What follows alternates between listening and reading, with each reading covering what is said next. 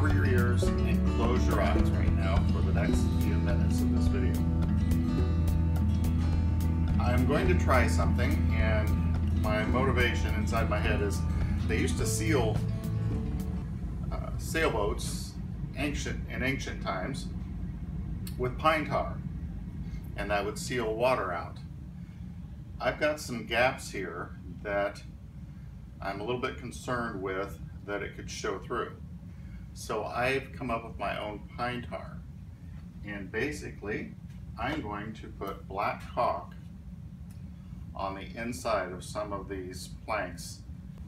Once I put a layer of that caulk there, I'm hoping that it will cover any imperfections that I might have, a little gap that might show through because I've got black caulk. I've developed my technique a little better by putting the black caulk on a palette, so to speak. Then I can get a dab and work this in much better.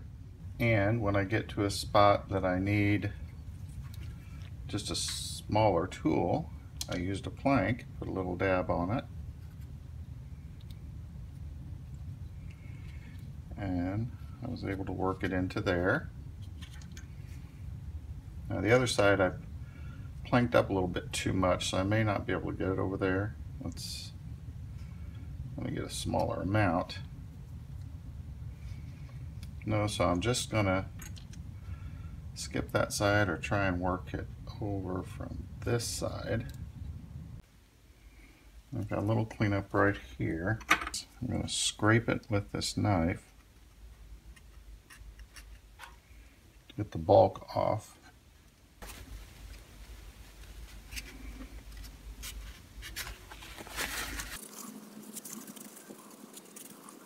Then any light residue that will sand off, I'm hoping. So you can see where I've coated all along the edge.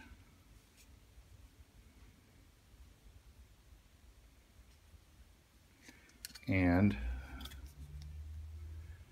you can see some of the black in here, but as I sand that down, I think that's going to be hidden. Or if anything, it'll be just darker. I prefer that over an actual hole, looking into the hull of the ship. So let me continue planking and um, we'll see what the finished product looks like.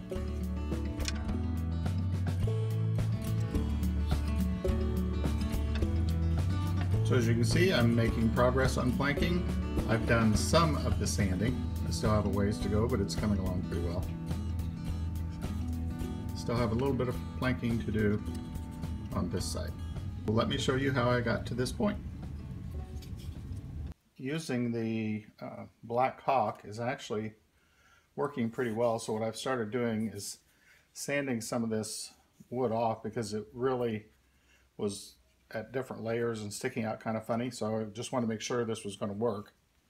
It's working pretty well. So all I do is I, since I don't have a lot of equipment, I hook my drill up in this vise and just squeeze it until it turns on.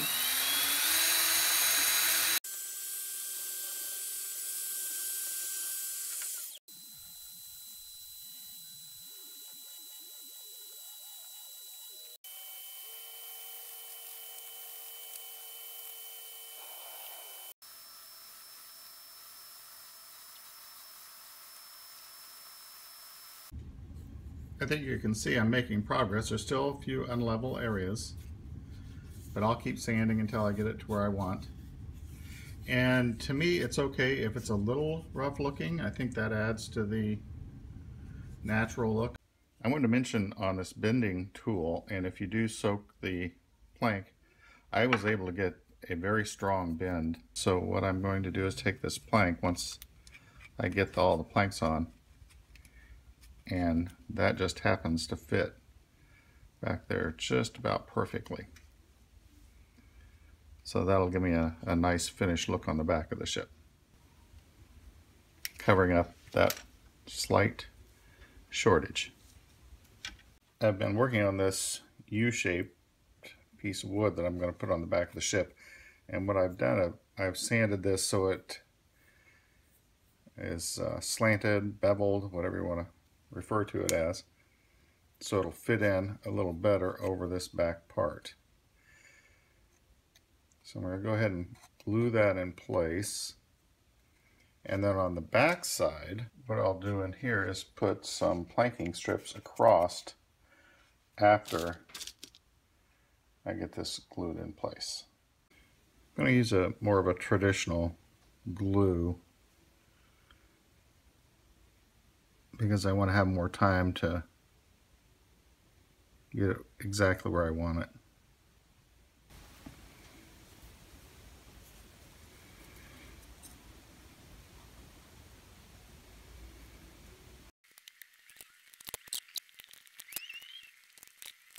Hmm.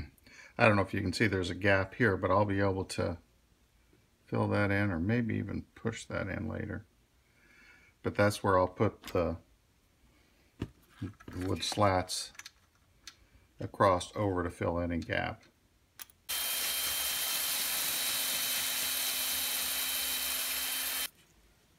So I finished up on this band I was talking about. It's worked out pretty well. And then there's another thing that I've done, and you may have noticed it on the corners where there are seams. I've got some, uh, looks like braided, they're actually gold in color. Also on the base of the control center. And I'm also going to band it right around here. And what I've used is this cord that I will also use for some of the roping on the ship. And I coated it with uh, metallic acrylic paint, golden color. And what I will do is right along there, I'm going to put that band. And I also, or one of the two, I'll either put it there or I'll put it back here and have it match the back of the ship just to cover up any errors. So anyway, I've used this quite a bit different places. I think I kind of like it right there. Give you an idea what that'll look like. Oops. So that'll be it for this segment. I will return once I get all the planking done. I'll get it finished sanded and then we'll start putting some of the equipment on deck of the ship.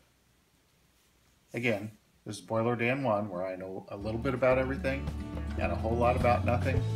And as always, thanks for watching.